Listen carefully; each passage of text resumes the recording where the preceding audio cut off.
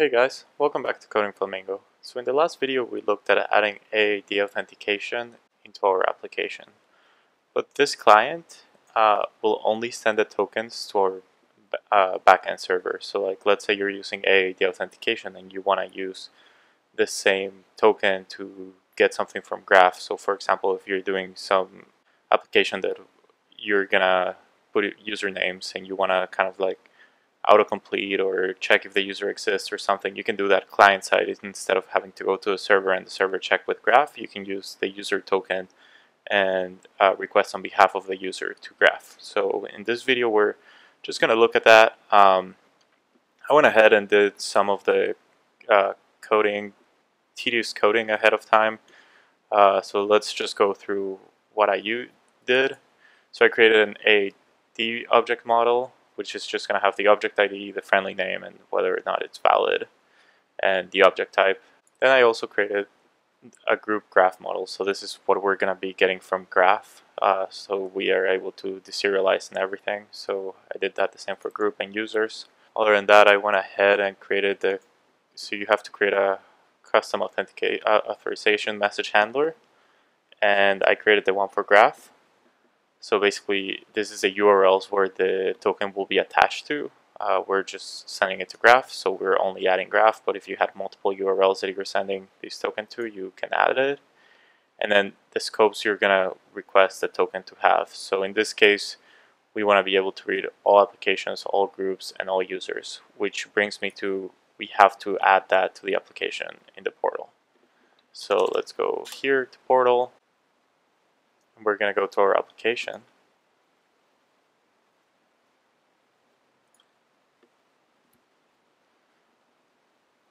And in the client application, so this is the one that is running on the uh, user's computer, we're going to add uh, the API permission. So we're going to go to Microsoft Graph and we're going to add this permission. So we're just going to go back here.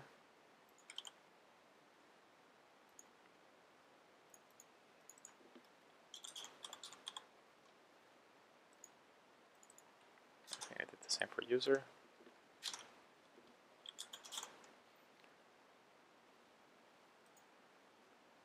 So as you can see, it's delegated permissions. So it'll use it with the user token. It's not the owns application token. So we're gonna uh, update it. And now we have to go back as the tenant admin and approve because this has to be approved by a tenant admin. So we're gonna go here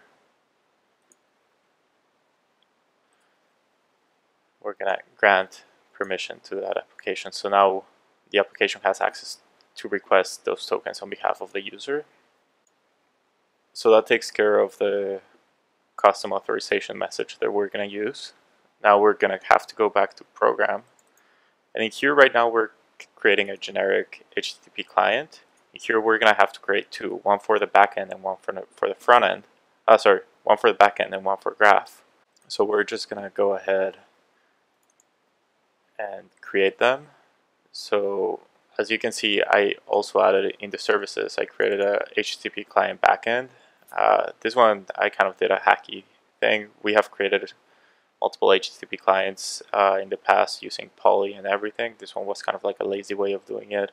I just copied our regular Polly policy for like retries and then I'm just returning a, the weather forecast. Usually you would just make it more generic and then you would deserialize it when you call the function, but in this case we're just using it, the, the whole point is to just see the token issuance. So I just was lazy and did the weather forecast one. And as you can see, I'm not dealing with errors or anything. And then for graph, uh, I kind of did the same. I created the same with Polly and everything. And here I created a function called validate AAD user and group object. So it's just going to check users and groups. We're not going to check for service principals. And basically what it does is it first checks if a group with that name exists and a user with that name exists.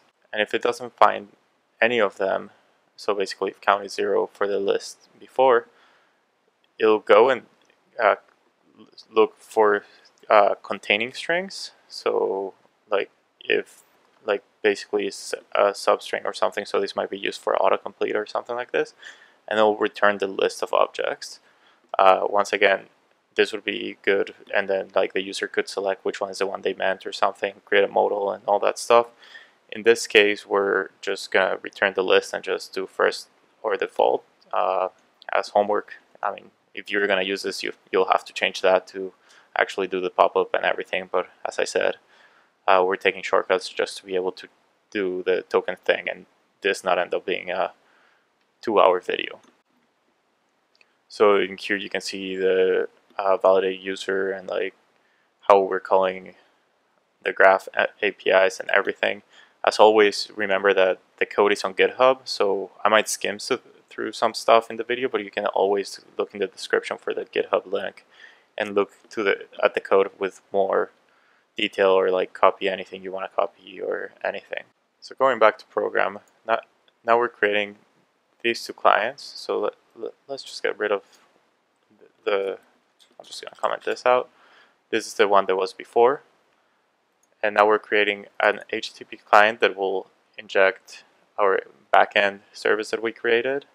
And it's just going to use the base uh, address uh, authorization handler, which is the one that comes default and will attach the token to your backend and to the base address and all that stuff. And then we created another one called Graph API, which will use the uh, custom authorization that we created here as the authentication for it and it's going to be used for the graph.microsoft.com so anytime you send anything to the graph.microsoft.com um, so in here we are we already added the service server API one so we have to do the same for the graph API one.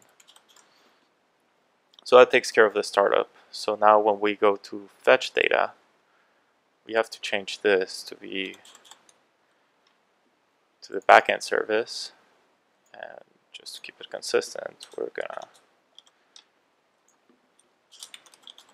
change the name of it. And here we have to change this as well to get and now we're adding the navigation manager manager because if we go here we actually pass we have to pass the full URL instead of just passing the the ending part of it. So let's go back to fetch and we're gonna do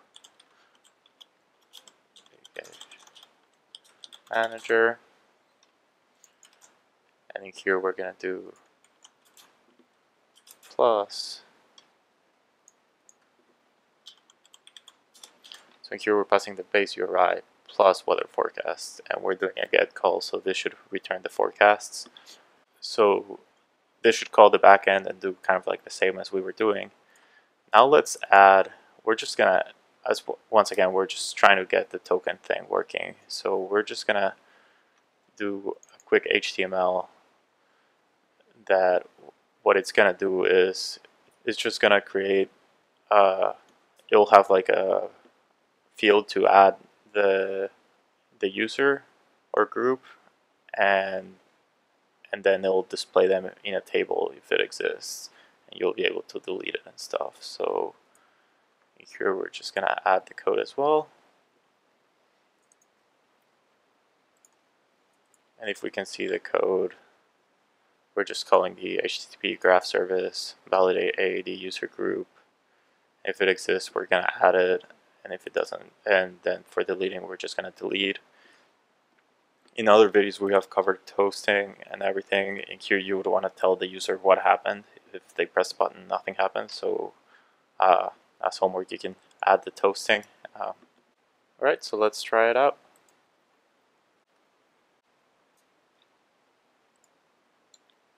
So now we're going to log in. And as you can see, the backend still works even though we're calling with our new our new client.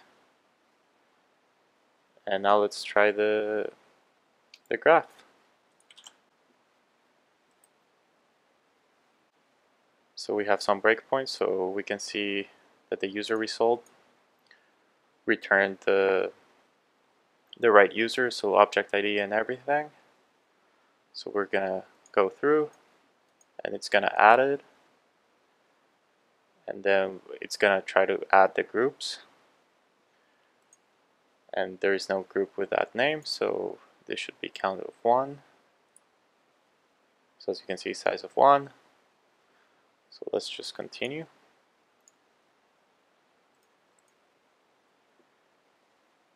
and now it added to requester groups. So if we go back here now we can see it here. Thank you for watching and I'll see you in the next one